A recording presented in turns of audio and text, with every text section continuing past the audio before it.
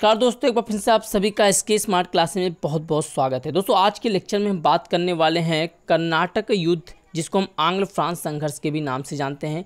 तो हम कर्नाटक के जितने भी युद्ध हुए कर्नाटक का प्रथम, द्वितीय, तृतीय, इन सारे युद्ध के बारे में मतलब सारी चीज़ों के बारे में आज मैं बताने वाला हूँ। और दोस्तों नोटिस कीजिएगा कि आप प्लीज़ हमारे प्लेलिस्ट में जाके, यानी इस चैनल के प्लेलिस्ट में जाके वीडियो को सीरियल वाइज आप प्राप्त कर सकते हैं। और ये जो मैं 50 से 60 वीडियो इतिहास का बना रहा हूँ ना नोटिस कीजिएगा, ये आप किसी भी आयोग परीक्षा की अगर आप तैयारी कर रहे हैं तो आपके लिए बहुत ही महत्वपूर्ण होने वाला है। इन लेक्चर को तैयार करके आप आसानी से एग्ज़ाम को क्वालिफाई कर सकते हैं। दोस्तों, कहीं से भी आपको बाहर से पढ़ने की ज़रूरत बिल्कुल नहीं होगी, ठीक है? तो चलिए, आज की बात करेंगे हम डेनिस होम फ्रांसिसो का भारत में आगमन, इसकी भी हम बात करेंगे, क्योंकि इससे पहले मैंने जब भारत में डच अंग्रेज़ और पुर्तगालियों का आगमन, इन सारी चीज़ों को मैंने बता दिया है तो उसके बाद तीसरे नंबर पे आगमन किसका होता है भारत में? डेनिस एवं फ्रांसीसी का, ठीक है? डेनिस आते हैं, उसके बाद फ्रांसीसी आते हैं सबसे आखिरी में तो इसकी भी बात करेंगे। तो चलिए स्टार्ट करते हैं। तो बात करते हैं डेनिस की। दोस्तों, आपको पता होगा कि भारत में जब पुर्तगालियों का आगमन होता है तो ये चौथे नंबर पे आते हैं, क्योंकि पहले नंबर पे कौन आता है? पुर्तगाली आते हैं। दूसरे नंबर पे कौन आता है? डच आते हैं, जो कि डच, जो कि नीदरलैंड की एक भाषा है तो उसको हम नीदरलैंड के भी नाम से जानेंगे, ठीक है? उसके बाद कौन आते हैं? अंग्रेज़, और फिर आते हैं आपके डेनिस। तो आज हम डेनिस और फ्रांसिसो की बात करेंगे, ठीक है? तो डेनिस आते हैं। दोस्तों, डेनिस की बात करते हैं तो डेनिस जो भारत में इनका आगमन होता है, वो सोलह में होता है। ध्यान समझिएगा। देखिए, इनके बारे में बहुत कुछ नहीं याद करना है, केवल एग्ज़ाम भी पॉइंट्स से जो महत्वपूर्ण है, वही हमें देखना है। क्योंकि दोस्तों, अगर देखिए, भारतीय इतिहास में इनका बहुत ज़्यादा योगदान, यानी कहने का मतलब ये होता है कि इन्होंने बहुत ज़्यादा कुछ किया नहीं, इसलिए बहुत सारी बुक इनके बारे में लिखती भी नहीं है, ठीक है? तो इनके बारे में बहुत कुछ नहीं पढ़ना है हमें, केवल इनके क्या पढ़ना है? हमें ये देखना है कि इनका भारत में आगमन कब होता है? 1616 में। और इन्होंने अपनी दो व्यापारिक कोठियाँ खोली भारत में, जो कि पहला है ट्रांकोबार, यानी तमिलनाडु में, और दूसरा इन्होंने खोला सेरामपुर, जो कि पश्चिम बंगाल में। तो याद रखिएगा, आपको क्या याद रखना है कि इनकी व्यापारिक कोठियाँ दो खुली, पहला तो ट्रांकोबार, जो कि तमिलनाडु में है, दूसरा पश्चिम बंगाल में, जो कि सेरामपुर में, ठीक है? सेरामपुर में खुला है। अब देखिए, व्यापारिक कोठी क्या होती है तो बार बार बता रहा हूँ कि जो भी पुर्तगाली भारत में आते हैं, ये अपना पहले व्यापारिक कोठी स्थापित करते हैं। क्योंकि वही एक जगह होता है जहाँ से वो अपने वस्तुओं का आयात निर्यात यानी खरीदते और बेचते हैं, ठीक है? ये चीज़ें थी। होता क्या है? उसके बाद दोस्तों 1745 में ये अपनी सारी व्यापारिक कोठियों को अंग्रेज़ों को बेचकर क्या करके वापस चले गए। ठीक है? तो यहीं से इनका भारत में उपनिवेश का अंत हो जाता है। तो यहाँ से इनका बहुत ज़्यादा अगर देखें तो बहुत ज़्यादा महत्वपूर्ण नहीं है ये आपके एग्ज़ाम के भी, अगर देखें कि दृष्टि से ठीक है? तो आपको केवल इतना ही याद है सोलह सोलह में आगमन होता है और ट्रांकोबाद इसके अलावा श्रीरामपुर में इन्होंने क्या किया? अपनी दो व्यापारिक कोटियाँ खोला। ठीक है? चलिए, अब बात करते हैं फ्रांसीसी की। तो फ्रांसीसियों की अगर बात करें तो दोस्तों ये भारत में सबसे आखिरी में आने वाले यूरोपीय देश थे, सबसे आखिरी में आने वाले। ठीक है, कौन? फ्रांसीसी। देखिए अब देखिए, कहा जाता है, कहा तो ये जाता है कि दोस्तों, अगर ये चाहते तो भारत में सफल हो सकते थे। जैसे आज अंग्रेज़ भारत पे राज किए ना, जैसे अंग्रेज़ भारत में लगभग 200 सालों तक राज किए, वैसे अगर फ्रांसीसी चाहते तो वो भी भारत पर राज कर सकते थे, लेकिन इनकी असफलता के कुछ कारण थे, जिसकी वजह से ये भारत में सफल नहीं हो पाए। ठीक है? तो इनकी असफलता का कारण क्या था? देखिए, पहला कारण तो ये था कि इनका जो इन इन इनकी जो सरकार थी ना, यानी इनकी असफलता का सबसे बड़ा कारण ये था कि इनकी सरकार का इस पर क्या था? पूर्ण नियंत्रण था। यानी फ्रांसीसी सरकार का इन पर पूर्ण नियंत्रण था। ये अगर कोई भी काम करते, मान लीजिए भारत में अगर ये कोई काम करते तो बिना अपनी गवर्नमेंट के आदेश से नहीं कर सकते थे, उनसे बिना अनुमति के नहीं कर सकते थे। जैसे अंग्रेज़ थे तो मान लीजिए अंग्रेज़ में रॉबर्ट क्लाइव आया तो उसका जो मर्ज़ी अगर वो भारतीयों का दमन करना चाहता तो उसको इसके लिए अनुमति नहीं लेनी होती थी। वो अपने मत से, अपनी मनमानी करता था। तो यहाँ पे ऐसा नहीं था। फ्रांसीसियों के लिए ऐसा नहीं था। फ्रांसीसी के लिए ये था कि इनको अपनी सरकार से क्या करना होता था? अनुमति लेना होता था, जो कि क्या होता था? ये अपनी मनमानी नहीं कर सकते थे। है ना? तो इसी वजह से क्या था कि इनके जो गवर्नर जनरल थे, वो सरकारी नियंत्रण कार्य क्या नहीं कर पाए? अपने मतलब उस अपनी चीज़ों को अच्छे से ढाल नहीं पाए। ठीक है? इसके अलावा दोस्तों क्या हुआ कि इनका जो ध्यान था ना, वो भारत से ज़्यादा अन्य देशों पर भी था। यानी ये भारत पे केंद्रित नहीं थे, अन्य देशों जैसे मारिसस हो गए। इसके अलावा दोस्तों कई मतलब इनके जो ध्यान मुख्यतः भारत पे ही नहीं था, ठीक है? तो इस वजह से भी इनका ध्यान भटका। तो ज़ाहिर सी बात है, अगर आप एक चीज़ पे ध्यान केंद्रित करेंगे तो आपका पूरा का पूरा ध्यान वहीं पे जाएगा। आप, आपकी जो पूरी नीतियाँ होंगी, जो आपके रूल्स, रेगुलेशन सब उसी पे फोकस होंगे। लेकिन यहाँ पे ऐसा बिल्कुल नहीं था। ठीक है?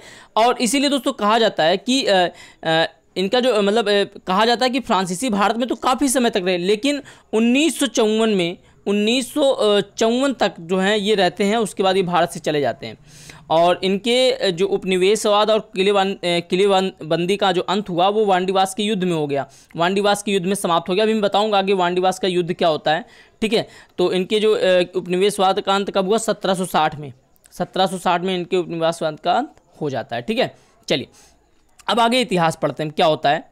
देखिए दोस्तों, अगर फ्रांसीसियों की इतिहास इसलिए पढ़ेंगे क्योंकि ये महत्वपूर्ण है, क्योंकि इन्हीं के समय में दोस्तों कर्नाटक के युद्ध हुए, जो पहला द्वितीय, तृतीय और जो कि बहुत ही महत्वपूर्ण है, जो आपको जानना बहुत ही ज़रूरी है। देखिए, होता क्या है कि 1644 में लुई फोर्टीन 1644 में लुई फोर्टीन के मंत्री कोलवर्ट थे। कौन थे? कोलवर्ट। इनके आदेश पर दोस्तों क्या होता है कि फ्रेंच ईस्ट इंडिया कंपनी की स्थापना होती है। फ्रेंच ईस्ट इंडिया कंपनी की स्थापना होती है, ठीक है? ओके? उसके बाद दोस्तों क्या होता है? सोलह में फ्रैंको कैरो भारत आया, जो कि फ्रांसीसी था। सोलह में फ्रैंको कैरो भारत आया और उसी ने भारत में फ्रांसीसियों की पहली व्यापारिक कोठी खोली। कहाँ पे? सूरत में। तो आपका एक नंबर तो तैयार होगा कि फ्रांसीसियों ने पहली व्यापारिक कोठी कहाँ पे खोली? सूरत में। अब मैं आपसे क्वेश्चन पूछूँगा। इसके अलावा कौन से यूरोपीय थे जिन्होंने अपनी पहली व्यापारिक कोठी सूरत में खोली? तो आपको बताना है, अंग्रेज़। अंग्रेज़ों ने 1612 में 1612 में अपनी पहली व्यापारिक कोठी कहाँ पे खोली? सूरत में। ठीक है?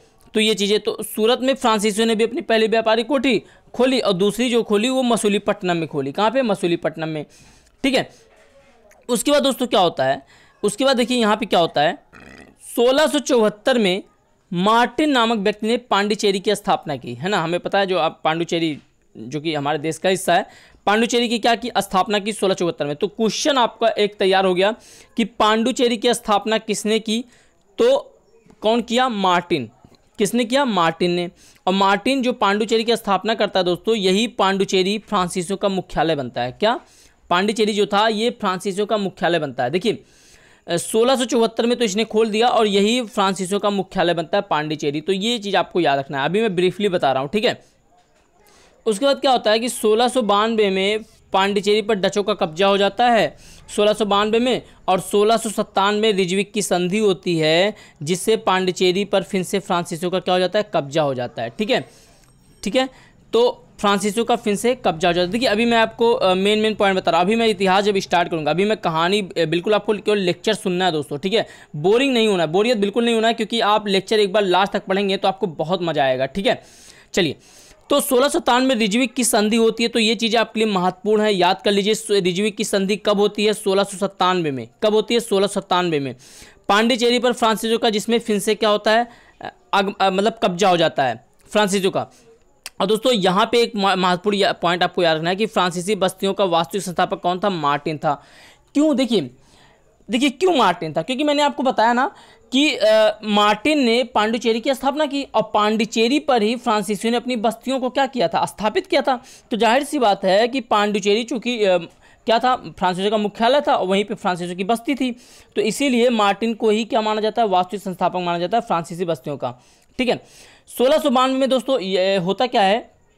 उसके बाद दोस्तों सोलह सौ बानवे में शाइस्ता खां। शाइस्ता खां ने क्या किया? फ्रांसीसियों को कुछ भूमि दे दी और उसी भूमि पर चंद्रनगर की स्थापना होती है। क्या होती है? चंद्रनगर की स्थापना होती है। क्या होती है? चंद्रनगर की स्थापना होती है। ठीक है? और यही कारण दोस्तों क्या होता है कि चंद्रनगर की जब स्थापना होती है तो यही कारण है कि अंग्रेज़ों ने क्या किया? मतलब अंग्रेज़ों ने जो है वांडीवास का जब युद्ध होता है ना तो चंद्रनगर को छोड़कर फ्रांसीसियों के जितने भी कब्जित किए गए क्षेत्र थे, उनको क्या कर दिया? वापस कर दिया। लेकिन चंद नगर को वापस नहीं किया अंग्रेज़ों ने। मैंने जो फ्रांसीस मतलब अंग्रेज़ों ने फ्रांसीसियों के द्वारा जो भी बस्तियाँ थी स्थापित की गई थी, उनको क्या किया? उनको सारा सारा कब्जा कर लिया था। लेकिन चंद सारों को फिर क्या कर देता है? सभी बस्तियों को वो छोड़ देता है। लेकिन चंद नगर को नहीं छोड़ता क्योंकि ये चंद नगर जो है, ये पश्चिम बंगाल में था। और पश्चिम बंगाल में था, इसीलिए इसको नहीं छोड़ा, क्योंकि ये बहुत ही महत्वपूर्ण स्थान था। ठीक है? यही रीजन था। तो फ्रांसीसी द्वारा जो भी कब्जा किया गया था, सत्रह सौ उनचास तक वो उसको क्या कर देता है, वापस कर देता है। ठीक है? अब देखिए क्या होता है कि, अब देखिए होता क्या है दोस्तों कि 1720 से देखिए, सत्रह सत्रह तक तो फ्रांसीसी बिल्कुल निष्क्रिय रहते हैं, कुछ नहीं करते हैं। लेकिन 1720 से 1741 तक भारत में दो फ्रांसीसी गवर्नर रहे। 1720 से 41 तक भारत में दो फ्रांसीसी गवर्नर रहे कौन कौन लीनो और ड्यूमा। लीनो और ड्यूमा। दोस्तों, लीनो और ड्यूमा, इनको कहा जाता है कि इन्होंने फ्रांसीसी शक्तियों को पुनः स्थापित करने में ये लग गए थे। और इन्हीं के प्रयासों से क्या होता है? सत्रह में। चलिए, मैं आगे बताऊँगा। तो इन्होंने सत्रह सौ इक्कीस में क्या किया? मारिसस में, और उसके बाद सत्रह चौबीस में माहे, और फिर सत्रह सौ उनतालीस में इन्होंने कराइकल में क्या किया? अपनी व्यापारिक कोठियों का क्या क्या? निर्माण किया। यानी ये जो लियोना लिनो और ड्यूमा आए थे ना, इन्होंने फ्रांसीसी शक्तियों को फिर से क्या किया? फिर से मतलब एकत्रित करने में लग गए थे। और इसीलिए दोस्तों इन्होंने एक एक करके क्या किया? अपने व्यापारिक कोठियों का इन्होंने निर्माण किया। आप देख सकते हैं मारिसस में भी इन्होंने निर्माण किया था। ठीक है? चलिए। लेकिन दोस्तों, होता क्या है? आप समझिएगा, जो ये प्रथम कर्नाटक युद्ध होता है ना, जिसको सेंट थोमे का युद्ध कहते हैं। क्यों? क्योंकि प्रथम कर्नाटक युद्ध जो हुआ था, वो सेंट थोमे नामक जगह पे हुआ था। कब हुआ था? 1746 से 48 के बीच। इसीलिए प्रथम कर्नाटक युद्ध को सेंट थोमे का युद्ध के नाम से भी जानते हैं। तो दोस्तों, इसकी पृष्ठभूमि क्या थी? कोई युद्ध ऐसे नहीं हो जाता। उस युद्ध के पीछे कोई ना कोई कारण होता है, कोई ना कोई शुरुआत होता है, कोई ना कोई रीजन होता है ना। कुछ पृष्ठभूमि तो उसी पृष्ठभूमि की बात करते हैं। देखिए, होता क्या है कि 1740 का समय था दोस्तों, और उस समय यूरोप में चूँकि आपको पता है कि यूरोप की बात करेंगे तो यूरोप में आपके फ्रांसीसी भी थे, पुर्तगाली भी थे, और अंग्रेज़ ब्रिटेन भी थे वहाँ पे ये सब यूरोपीय देश थे। तो यूरोप में ही दोस्तों, क्या होता है कि उत्तराधिकार के लिए ऑस्ट्रिया के उत्तराधिकार को लेकर युद्ध होता है, कहाँ पर यूरोप में। और जिसको लेकर ब्रिटिश और फ्रांस भी लड़ने लगे, समझिएगा। झगड़ा कहाँ पर हो रहा था? झगड़ा हो रहा था यूरोप में। और यूरोप में किस किस के बीच होता रहा था? फ्रांस और अंग्रेज़ के बीच, फ्रांस और ब्रिटिश, जिसको ब्रिटिश के नाम से भी जानते हैं, फ्रांस और ब्रिटिश के बीच हो रहा था। किस लिए हो रहा था? ऑस्ट्रिया के उत्तराधिकारी को लेके हो रहा था। तो सोचिए, झगड़ा जब यूरोप में हो रहा था तो उसका असर भारत में हो रहा था। अब देखिए, यूरोप की बात करें तो वहाँ पे फ्रांस, चूँकि यूरोप में फ्रांस फ्रांस और ब्रिटेन दोनों देश वहाँ पे हैं तो फ्रांसीसी और अंग्रेज़ दोनों भारत में क्या कर रहे थे? अपने अपने शक्तियों को स्थापित कर, अपने अपने उपनिवेशवाद को, अपने अपने व्यापारिक को क्या करने, बढ़ावा दे रहे थे, जिससे कि वो अत्यधिक लाभ कमा सकें। तो जब वहाँ पे युद्ध हो रहा था तो यहाँ पे भी इसका असर देखने को मिला। अब दोनों में यहीं पे द्वेष उत्पन्न होने लगा, अंग्रेज़ और फ्रांस के भी फ्रांसीसी के बीच। ठीक है? तो होता क्या है? तो जब, मैंने बताया ना कि जब इसकी खबर भारत में होती है इसकी खबर जब सत्रह में पहुँची भारत में तो भारत में इसका प्रारंभ तो हो गया, इसका भी असर हो गया। और इस समय फ्रांसीसी गवर्नर कौन था? डुप्ले था। फ्रांसीसी गवर्नर कौन था दोस्तों? डुप्ले था। फ्रांसीसी गवर्नर कौन था? डुप्ले था। ठीक है? तो इसी ने क्या किया डुप्ले था जो तो डुप्ले, ठीक है? क्योंकि इसी के नेतृत्व में दोस्तों युद्ध होता है, ध्यान समझिएगा। इस समय फ्रांसीसी गवर्नर था डुप्ले। और जो कि बड़ा ही दूरदर्शी था, बहुत ही दूरदर्शी और कह सकते हैं कूटनीतिक भी था, जैसे अंग्रेज़ में अंग्रेज़ों में रॉबर्ट क्लाइव था, ठीक है? तो होता क्या है कि यही अगर बात करें, फ्रांसीसी शक्तियों को अगर स्थापित करने में किसका हाथ था तो डुप्ले का ही था, और डुप्ले को ही दोस्तों सहायक संधि का जन्मदाता भी माना जाता है। देखिए, आप कहेंगे, सर, सहायक संधि के तो जन्मदाता उसको माना जाता है, क्या नाम, लॉर्ड बेलीजरी को? तो देखिए, लॉर्ड बेलीजरी को बिल्कुल क्रेडिट इसलिए जाता है क्योंकि जन्मदाता है डुप्ले, अभी आगे बताऊँगा, लेकिन क्रेडिट जाता है बेलिजली को। क्यों? क्योंकि बेलिजली ने इसका सबसे पहले प्रयोग किया था, इसीलिए बेलिजली को इसका क्या जाता है? क्रेडिट जाता है। क्रेडिट किसको जाता है? बेलिजली को। ठीक है? देखिए क्या होता है कि दोस्तों, डुप्ले डुप्ले को पता था कि भारत में फ्रांसीसी सेना कमज़ोर है। जब युद्ध शुरू हुआ तो डुप्ले को पता था कि भारत में फ्रांसीसी सेना क्या है? कमज़ोर है। और इसीलिए दोस्तों, क्या हुआ कि चूँकि आपको पता है कि दक्षिण भारत में फ्रांसीसियों का मुख्यालय था, वो था पांडुचेरी और यहाँ का जनरल डुप्ले ही था, पांडुचेरी का ही जनरल डुप्ले था। और अंग्रेज़ों का मुख्यालय क्या था? मद्रास। क्या था? मद्रास। और यहाँ का जनरल कौन था? Nicholas Morse. तो डुप्ले दोस्तों क्या करता है? डुप्ले जो निकोलस मोर्स से मुलाकात करता है, अब देखिए यहीं से ये कूटनीति करता है डुप्ले निकोलस मोर से मुलाकात करता है और कहता है कि भैया, आप किसी भी प्रकार का युद्ध मत करिएगा, क्योंकि हम युद्ध नहीं चाहते, हम युद्ध नहीं चाहते। निकोलस मोर्स से इसने क्या किया? आग्रह किया ना। लेकिन दोस्तों, क्या हुआ कि निकोलस मोर्स जो था, उसने क्या किया? इधर निकोलस मोर्स ने क्या किया? मतलब निकोलस मार्स की सहायता के लिए कैप्टन बर्नन आता, जो कि अंग्रेज़ था, ये नौसेना के साथ भारत पहुँचा। जब निकोलस मोर्स को ये पता चला कि भैया, हम डुप्ले की बात क्यों माने? क्योंकि हमारी सहायता के लिए तो कैप्टन बर्नर आ चुका है, हम तो मज़बूत हो चुके हैं। तो इसीलिए इसने इसकी, क्या किया? इसकी प्रार्थना को अस्वीकार कर दिया। इसकी प्रार्थना क्या कर दिया? अस्वीकार कर दिया। क्या कर दिया? अस्वीकार कर दिया, यानी मना कर दिया कि भैया ऐसा कुछ बात हम आपका नहीं मानेंगे। क्योंकि इसको लगा ना कि हम मज़बूत हैं और हम इसी का फ़ायदा उठाएँगे। और होता क्या दोस्तों? जो कर्नाटक का प्रथम युद्ध होता है, इसका जो तत्कालिक काल था, यही था कि जो कैप्टन बर्नर था ना, ये कैप्टन बर्नर। इस कैप्टन बर्नर ने फ्रांसीसी बेड़ों को अपने कब्जे में कर लिया। कौन? कैप्टन बर्नर ने फ्रांसीसी बेड़े को क्या कर लिया? अपने कब्जे में कर लिया। ठीक है? तो जब कब्जे में कर लेता है तो उसी वक्त तुरंत क्या करता है? ये इसकी निकोलस मोर्स ने क्या किया? डुप्ले की प्रार्थना को अस्वीकार कर देता है कि भैया ऐसा कुछ नहीं होगा। ठीक है? अब देखिए क्या होता है। तो यही जो कैप्टन अगर आपसे पूछा जाए कि कर्नाटक का प्रथम युद्ध का तत्कालिक काल क्या था तो आप बताओगे कैप्टन बन्नर द्वारा फ्रांसीसी बेड़े को कब्जे में कर लेना। क्या था? कैप्टन बन्नर द्वारा फ्रांसीसी बेड़े को कब्जे में कर लेना। यही कर्नाटक के युद्ध का, जो पहला युद्ध होता है, इसका तात्कालिक काल माना जाता है। ठीक है? और इसीलिए दोस्तों, निकोलस मोर्स ने क्या किया? डुप्ले के पत्र को नकार भी दिया। अब देखिए, डुप्ले था दूरदर्शी। डुप्ले क्या था? दूरदर्शी था। बड़ा ही कूटनीतिक था। तो उसने क्या किया? तो डुप्ले ने अपनी दूरदर्शिता का प्रयोग किया। देखिए, कैसे, क्या करता है ये? अब देखिए, ये क्या करता है? चूँकि मद्रास का नवाब था अनवरुद्दीन। मद्रास का कौन नवाब था? अनवरुद्दीन। तो डुप्ले जो है, इनसे मुलाकात करता है, इनसे मुलाकात करता है। और इसको समझाता है कि देखिए सर, आप जो है, आपसे मैं विनती करता हूँ कि आप अपने राज्य में किससे डुप्ले इससे कहता है नूरुद्दीन से, कि आप अपने राज्य में कोई भी युद्ध मत होने दीजिएगा।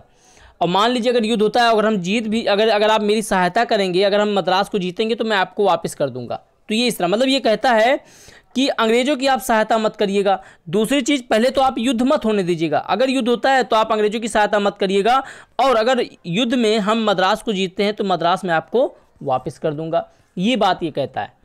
ठीक है? और दोस्तों, देखिए, यही यही चूँकि, देखिए, इसीलिए इसको सहायक संधि भी कहा गया। देखिए, डुप्ले ने क्या किया? यहाँ पे अपना सहायक संधि का प्रयोग किया कि नहीं किया? इसीलिए दोस्तों, इसको सहायक संधि का जन्मदाता कहा जाता है, किसको? डुप्ले को। ठीक है? अब देखिए, अनवरुद्दीन जो था, अनवरुद्दीन, चूँकि मद्रास का नवाब था, अनवरुद्दीन इसकी बात को मान लेता है। चलिए भैया, मैं आपकी बात मान लेता हूँ, ठीक है? और इसने अंग्रेज़ों को युद्ध करने से क्या कर दिया? मना कर दिया। क्या कर दिया? मना कर दिया। अब देखिए, इधर इसको टाइम मिल गया कि इसको डुप्ले को, इधर इसको टाइम मिल गया। अब इसको पता था कि युद्ध कभी भी हो सकता है। अंग्रेज़ क्योंकि थे बड़े चलाक तो कभी भी ये कर सकते हैं। तो डुप्ले ने अपनी सहायता के लिए ला बोडेनो को क्या कर लिया? भारत बुला लिया। ला बोडेनो को क्या कर लिया? भारत बुला जो कि मॉरिसस का जनरल था। मॉरिसस का जनरल, कौन? ला बुडो ने इसको अपनी सहायता के लिए भारत बुला लिया। और जब ये भारत आ जाता है ना तो ये क्या करते हैं? ये दोनों मिलकर, ये दोनों मिलकर क्या करते हैं? ये दोनों मिलकर ला बुडोने और डुप्ले मद्रास पर कब्जा कर लेते हैं। क्या कर लेते हैं? मद्रास पर कब्जा कर लेते हैं। ठीक है? तो यही होता है दोस्तों। और उसके बाद दोस्तों, यहाँ पे जब ये कब्जा कर लेते हैं तो देखिए, होता क्या है? ला बुडोने ला बुडोने क्या करता है? ला बुडोने जो था, उसने मतलब क्या किया? ये कभी नहीं चाहता था, चूँकि देखिए डूप डुपले तो कभी नहीं चाहता था कि मद्रास को वापस करे, क्योंकि जब मद्रास पर कब्जा कर लिया, अब लेकिन डूब ला जो डुपले था, वो नहीं चाहता था कि हम मद्रास को फिर से वापस करें, उसको वापस कर दें। लेकिन जो ला बुडोने था ना, इसने क्या किया? चार लाख पौंड फिरौती लेकर मद्रास को वापस कर दिया। चार लाख पाउंड फिरौती लेकर क्या कर दिया है? मद्रास को वापस कर दिया। और यही होता है दोस्तों, यहाँ से फिर से डुप्ले क्या होता है, निराश हो जाता है कि भैया इतना मेहनत करके तो हमने कब्जा किया, अब ये महाराज पैसे लेकर वापस कर दिए। देखिए, लेकिन फिर भी, अब देखिए क्या करते हैं, पैसा भी ले लेता है, फिर से क्या कर देता है, वो उसको कब्जा कर लेता है। तो कैसे करता है? देखिए, हुआ क्या, जब ला बुडो ने मद्रास पर कब्जा करने के बाद मतलब ला बुडो ने मतलब जब क्या किया, मद्रास को फिर से मतलब चार लाख पाउंड वापस फिरौती लेकर, जब वो मद्रास से वापस जा रहा था तो दोस्तों, होता क्या है कि उसी समय डुप्ले ने क्या किया, मद्रास पर फिर से कब्जा कर दिया और मद्रास पर क्या कर लिया, फिर से कब्जा कर लिया, उस पर आक्रमण करके उसको फिर से कब्जा कर लिया और इसने क्लाइव को कहा जाता है, क्लाइव को बंदी भी बना लिया। रॉबर्ट क्लाइव क्योंकि उस समय था। इसने इसको क्या कर लिया? बंदी बना लिया। क्या कर लिया? बंदी बना लिया। ठीक है? तो ये था दोस्तों कुछ रीजन। ठीक है? उसके बाद दोस्तों क्या होता है? अब देखिए, अब जब युद्ध हो जाता है तो जो मद्रास का नवाब था, अनवरुद्दीन, उसको लगता है गुस्सा। कि मतलब एक तो ये मेरे पास प्रार्थना लेकर आया, मैंने इसकी बात माना भी और उल्टे इसने क्या कर दिया, मेरी बात को ही मान कर मतलब ये उसने मेरे ही खिलाफ़ काम कर दिया ये। और जब अनवरुद्दीन क्रोधित हो जाता ना तो अनवरुद्दीन का जो पुत्र था महफूज खां, उससे अब अनवरुद्दीन का जो पुत्र था महफूज खां और इधर डुप्ले का जो सेनापति था पैराडाइज, इनके बीच युद्ध होता है। इनके बीच क्या होता है? युद्ध होता है। कहाँ पे? सेंट थोपे में। किस स्थान पर? सेंट थोपे। और इस युद्ध में डुप्ले जो है विजयी होता है, डुप्ले का मद्रास पर कब्जा हो जाता है। ध्यान समझिएगा, डुप्ले का मद्रास पर क्या हो जाता है? कब्जा हो जाता है। लेकिन दोस्तों होता क्या है कि ये युद्ध पूरी तरह से, इस युद्ध की जो समाप्ति होती है, वो एक संधि से होती है। और इस संधि होती है सत्रह सौ अड़तालीस में। कौन सी संधि होती है? देखिए हुई होता क्यों है? क्योंकि यूरोप में एक संधि होती है, एला सापल की संधि। यूरोप में एक संधि होती है, एला सापल की संधि, जहाँ पे अंग्रेज़ और फ्रांस दोनों में युद्ध हो रहा था। तो वहाँ पे जो एला सापल की संधि होती है तो उसी के तहत मद्रास को क्या कर दिया? अंग्रेज़ों को वापस कर, मिल गया। मद्रास जो है, अंग्रेज़ों को क्या कर दिया जाता है? वापस दे दिया जाता है। मद्रास अंग्रेज़ों को दे दिया जाता है। तो देखिए यही रीज़न था कि डुप्ले जो था, वो फिर से नाराज़ हो गया। वो फिर से नाराज़ हो गया कि इतनी मेहनत करके मैंने, क्योंकि मद्रास को देना ही नहीं चाहता था वो। और जब मद्रास को देना ही नहीं चाहता था तो ज़ाहिर सी बात है कि अब ये युद्ध भले ही कर्ण कर्नाटक का प्रथम युद्ध इस संधि से समाप्ति होती है, लेकिन अब कर्नाटक का द्वितीय युद्ध का भी यही कार्ड होता है, क्योंकि डुप्ले था नाराज़ ठीक है? यही रीजन होता है दोस्तों। तो देखिए ज़्यादा दिन तक ये चलता नहीं है, ज़्यादा दिन तक चलता नहीं है, ठीक है? तो और इसीलिए दोस्तों होता क्या है कि देखिए, अगर ये अंग्रेज़ों को मिल गया, वापस मिल गया क्या? मद्रास। और एक चीज़ था, उधर उत्तर अमेरिका का एक स्थान था लुइसबर्ग, जो फ्रांसीसियों को मिल गया। यानी अगर अंग्रेज़ों को क्या मिला, इधर मद्रास मिला भारत में तो उधर उत्तर अमेरिका में एक स्थान लुइसबर्ग था, जो फ्रांसीसियों को मिल गया। तो संधि हो गई ना, कुछ मिला, कुछ दिया। यही होता है। चूँकि यह युद्ध किसके बीच था दोस्तों? ऑस्ट्रिया के उत्तराधिकारी को लेकर था, परंतु इसकी समाप्ति किसके बीच किसको लेकर होता है? इसकी समाप्ति होती है एला सापल की संधि, जो कि कहाँ पे होता है? यूरोप में होता है। एला सापल की संधि कहाँ पे होता है? यूरोप में होता है। ठीक है? और जिससे डुप्ले था बड़ा नाराज़ हो गया। क्योंकि इसने सोचा कि भैया इतना मेहनत करके हमने मद्रास पर कब्जा किया और संधि करके मद्रास को दे दिया इतना आसानी से। और यही कारण दोस्तों कर्नाटक का दूसरा युद्ध होता है। ठीक है, चलिए। तो बात करते हैं कर्नाटक के द्वितीय युद्ध का, जो कि सत्रह से चौवन के बीच होता है। सत्रह सौ चौवन से चौवन के बीच होता है। देखिए दोस्तों, अब जब कर्नाटक का पहला युद्ध समाप्त हो जाता है, एक संधि से, एला सापल की संधि से तो उसके बाद तो ऐसा है नहीं कि डुप्ले भले नाराज़ था, लेकिन अब क्या वो बीच में जाके खुद क्या करेगा? अब आयल मुझे मार। क्या वो जाके तुरंत युद्ध करना शुरू कर देगा? नहीं। अब उसको एक बहाना चाहिए था कि किसी तरह से मद्रास पर फिर से कब्जा करें, फिर फिर से युद्ध हो। तो बहाना कैसे मिला उसको? देखिए, होता क्या है कि इसका जो मेन कार्ड था, वो हैदराबाद में एक उत्तराधिकार के लिए संघर्ष होता है, हैदराबाद में। हैदराबाद में उत्तराधिकारी जैसे पहले कर्नाटक के पहले युद्ध का क्या कारण था? वो ऑस्ट्रेलिया में उत्तराधिकारी के लिए संघर्ष चल रहा था। तो यहाँ पे कर्नाटक के द्वितीय युद्ध का आ, क्या कारण था? कि हैदराबाद में जो कि भारत में है हैदराबाद में उत्तराधिकारी के लिए संघर्ष चल रहा था। अच्छा संघर्ष किसके किसके भी चल रहा था? देखिए होता क्या दोस्तों? कि निशा निज़ाम आसिफ जहाँ की मृत्यु हो जाती है निज़ाम जो मतलब किसकी मृत्यु हो जाती है निज़ाम आसिफ जहाँ की मृत्यु हो जाती है। तो जब उसकी मृत्यु हो जाती है तो उसका पुत्र था नासिर जंग नासिर जंग। ये ये क्या करता है? दावा करता है। किसकी? गद्दी के दावा करता है। इधर इसका पौत्र, कहीं कहीं इसका भांजा भी दिया है। ये भी क्या करता है? दावा करता है। कौन? मुजफ्फर जंग। तो इन दोनों के बीच क्या होता है? उत्तराधिकारी के लिए संघर्ष होता है। दूसरी ओर दोस्तों, कर्नाटक में भी विवाद चल रहा था। कर्नाटक में भी विवाद चल रहा था। कैसे? कर्नाटक में भी क्या होता है? कर्नाटक में, कर्नाटक का जो नवाब था, उसका नाम था अनवरुद्दीन। कर्नाटक का नवाब कौन था? अनवरुद्दीन और उसका जो बहन बहन, बहनोई था, चंदा साहब। इसके बीच संघर्ष चलता है गद्दी के लिए। तो इधर मुजफ्फर जंग मुजफ्फर जंग और नासिर जंग के बीच होता है और दूसरी ओर कर्नाटक में चंदा साहब, अनवरुद्दीन के बीच होता है। ठीक है, अब देखिए, अब डुपले को मिल गया बहाना। तो डुपले ने क्या किया? मुजफ्फर जंग, इधर इधर मुजफ्फर जंग और इधर चंदा साहब का सहयोग दिया। यानी डुपले ने क्या किया? इधर मुजफ्फर जंग और चंदा साहब का क्या किया? सहयोग दिया। और इधर अंग्रेज़ ने क्या किया? नासिर जंग और अनवरुद्दीन का सहयोग दिया। देखिए, यहीं से पूरे पृष्ठभूमि तैयार होती है। तो डुपले ने मुजफ्फर जंग और चंदा साहब का सहयोग दिया और इधर अंग्रेज़ ने नासिर जंग और अनवरुद्दीन का साथ क्या दिया? सहयोग दिया।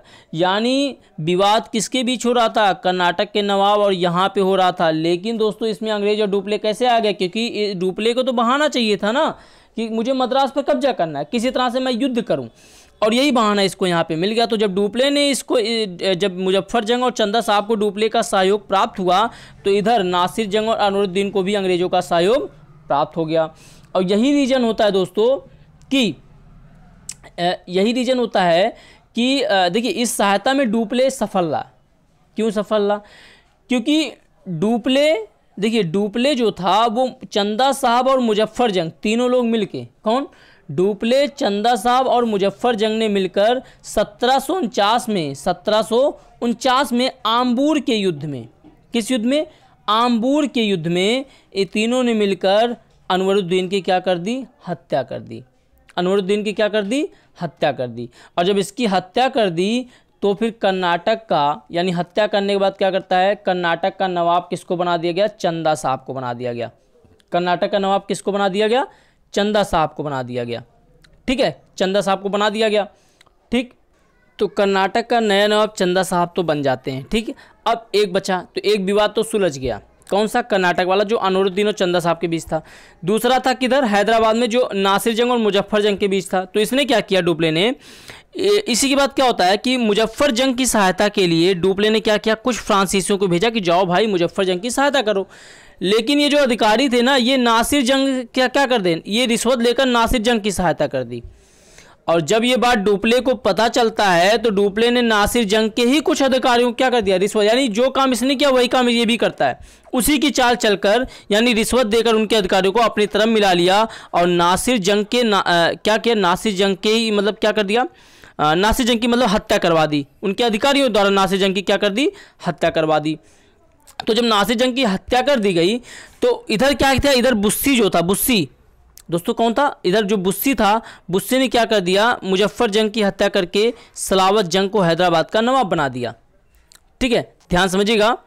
देखिए, पहले बात को समझिए। देखिए, होता क्या मैंने क्या कहा कि कर्नाटक का विवाद सुलझ गया, बचा क्या? हैदराबाद का मैटर बचा था। तो हैदराबाद में किसके किसके बीच हो रहा था? तो हैदराबाद में किसके किसके बीच हो रहा था? तो मैंने बताया कि हैदराबाद में जो मैटर चल रहा था, वो मुजफ्फर जंग और नासिर जंग के बीच चल रहा था।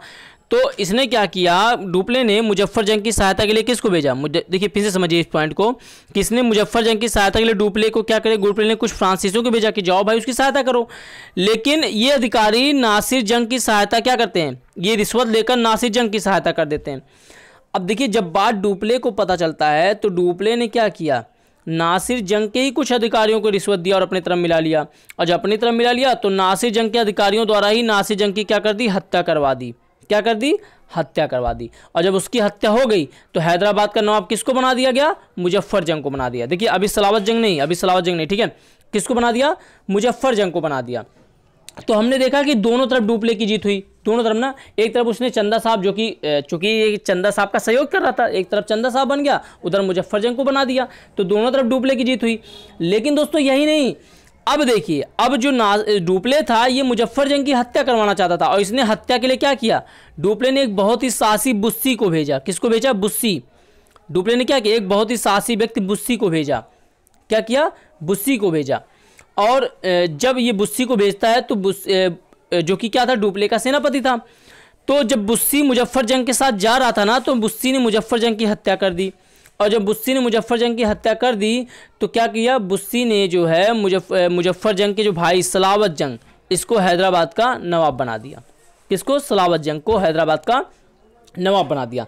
अब पूरे दक्षिण भारत पर डुप्ले का ही अधिकार था। किसका अधिकार था? डुप्ले का अधिकार। देखिए तो डुप्ले का दक्षिण भारत पूरी तरह से क्या हो गया? अधिकार हो गया। ठीक है, अधिकार हो गया। अब डुप्ले क्या करा? डुप्ले यही नहीं रुका। डुप्ले जो था, वो कृष्णापल्ली पर घेरा डाला। कृष्णापल्ली पर क्या किया इसने? घेरा डाला। और उसी समय दोस्तों, एक अंग्रेज़ी जनरल था जो कि मद्रास में भेजा गया, जिसका नाम था थॉमस सैंडर्स। इसको मद्रास में भेजा गया। और थॉमस सैंडर्स ने क्या किया? डुप्ले द्वारा जो ये कृष्णापल्ली पर घेरा डाला जाता है इसको असफल कर दिया। क्या कर दिया? असफल कर दिया। अब डुप्ले फिर क्या था? आरकाट की तरफ़ बढ़ा। तो जब आरकाट की तरफ़ बढ़ता है तो रॉबर्ट क्लाइव जो था, रॉबर्ट क्लाइव द्वारा सैंडर्स को सैंडर्स को क्या दिया गया? नसीहत दी गई कि भैया आरकाट पर कब्जा करने के लिए क्या किया? उसने कहा कि डुप्ले से पहले तुम जाके आर कार्ड पर कब्जा करो। क्या कहा? कि डुप्ले से पहुँचने से पहले तुम जाके आर कार्ड पर क्या करो? कब्जा करो। ठीक है, ये चीज़ें उसने बता दी। तो होता क्या है कि रॉबर्ट क्लाइव और सैंडर्स दोनों ने मिलकर क्या किया? आर कार्ड पर अपना घेरा डाला। क्या किया? आर कार्ड पर अपना घेरा डाला। तो दोनों ने मिलकर जब वहाँ पर घेरा डाला तो तिरपन दिन तक रॉबर्ट क्लाइव जो था ना, वो बिना कुछ खाए पिए वहाँ पर डटा रहा। और जब यहाँ पे डटा रहा तो ध्यान समझिएगा, ये डटा रहा तो इस, जब ये इस तरह का काम किया ना तो इसकी ख्याति तो बहुत ज़्यादा बढ़ गई। किसकी रॉबर्ट क्लाइव को। रॉबर्ट क्लाइव की ख्याति बहुत ज़्यादा, इसकी प्रसिद्धि बहुत ज़्यादा बढ़ गई। और दोस्तों, होता क्या है कि यहीं से डुप्ले को फिर से पीछे हटना पड़ा। डुप्ले को पीछे हटना पड़ा कि भैया ये आसान नहीं है। लेकिन इधर क्या था दोस्तों, फ्रांसीसी सरकार जो थी ना, वो डुप्ले की हरकतों से परेशान होकर क्या किया? डुप्ले को वापस बुला लिया और उसके स्थान पर किसको भेजा? गोदेहो के भेजा। किसको भेजा? गोदेहो के भेजा। देखिए, यही फ्रांसीसियों ने सबसे बड़ी गलती कर दी। क्यों? फ्रांसीसियों ने गलती इसलिए कर दी क्योंकि इसने डुप्ले को बुला लिया। भाई, डुप्ले क्या करना है? डुपले तो यही कर रहा था ना, फ्रांसीसी शक्तियों को, जैसे अंग्रेज़ में रॉबर्ट क्लाइव क्या कर रहा था? वो अंग्रेज़ों का प्रभुत्व बढ़ा रहा था। वो चाहता था कि अंग्रेज़ पूरी तरह से क्या करें, कब्जा करें। वही चीज़ डुप्ले भी कर रहा था कि वो किसी तरह अपने उपनिवेश को स्थापित करे। लेकिन जब फ्रांसीसी सरकार इसकी हरकत से परेशान हो गया तो उसने क्या कर दिया? भारत में इसको वापस बुला लिया। अब जब ये वापस चला गया तो ज़ाहिर सी बात है, होता क्या है, अब यहीं से फ्रांसीसी शक्तियों का पूरी तरह से रोक लग जाता है। यानी, अब इनकी कोई भी हरकत इस तरह से नहीं होती है, जिन, जिसकी वजह से अंग्रेज़ परेशान हो। ठीक है?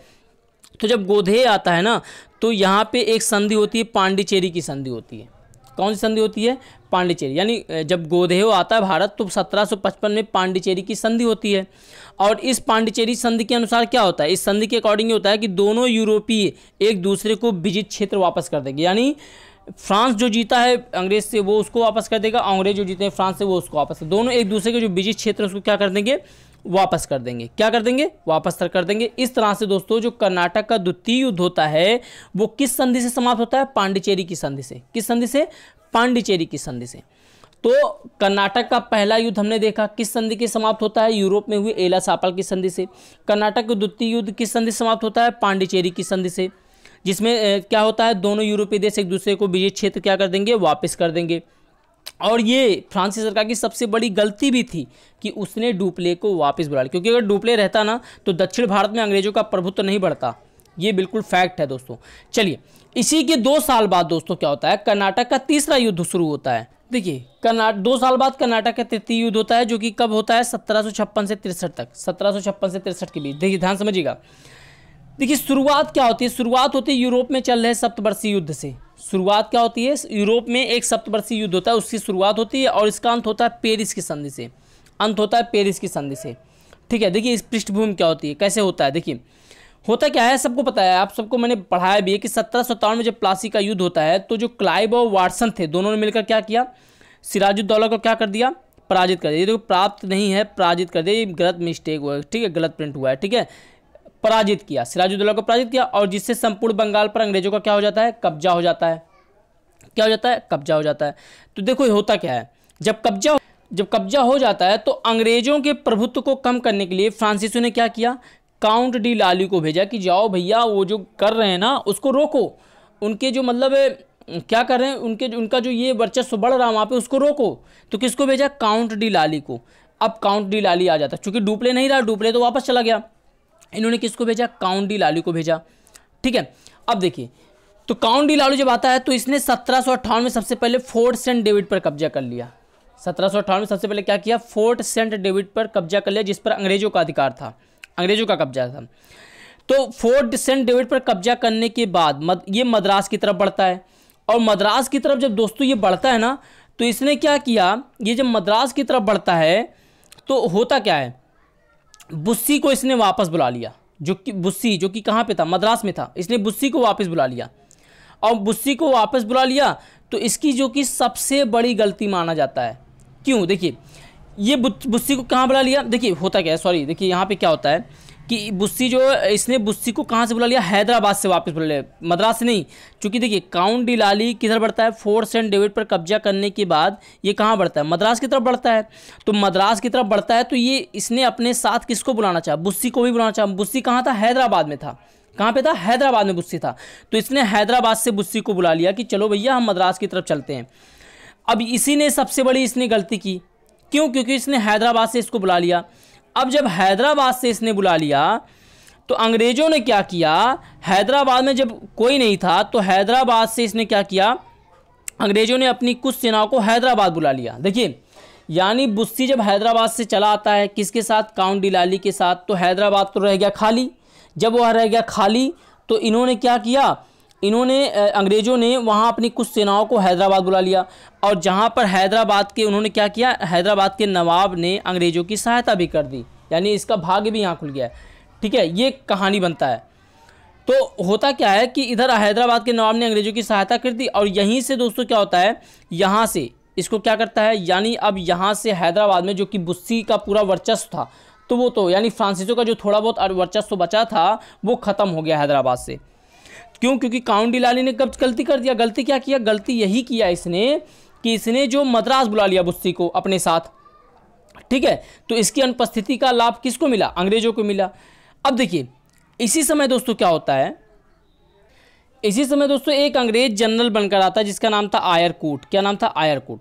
और 1760 में क्या होता है? फ्रांसीसी और आयरकूट के बीच वांडीवास का युद्ध होता है। तो वांडीवास का युद्ध होता है, जिसमें फ्रांसीसी क्या हो गए? पराजित हो गए।